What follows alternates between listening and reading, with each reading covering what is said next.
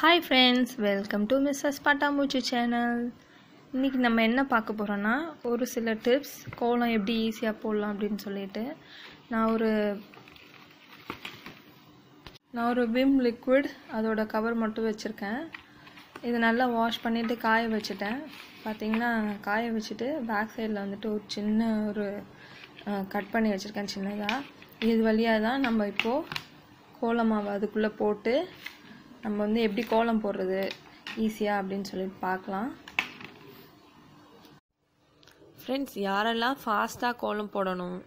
யாருக்கெல்லாம் back pain இருக்கோ?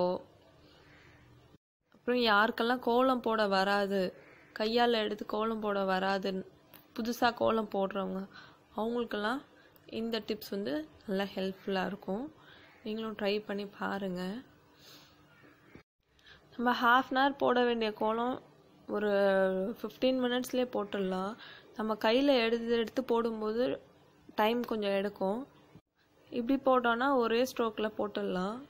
அதோட மாவு கூட கொஞ்சம் கனமாக ஃப்ளோ ஆகுது. நம்ம கலரிங் பண்ணும்போது நம்ம டபுள் இன்னொரு கோட்டிங் போடுவோம் இல்லையா? அந்த மாதிரி போட தேவையில்லை. இப்போ வில்லேஜ் சைடெல்லாம் பார்த்தீங்கன்னா வாசல் நல்லா பெரிய வாசலாக இருக்கும். பெரிய கோலம் போடுறவங்களுக்குலாம் இந்த டிப்ஸ் நல்லா ஹெல்ப்ஃபுல்லாக இருக்கும்.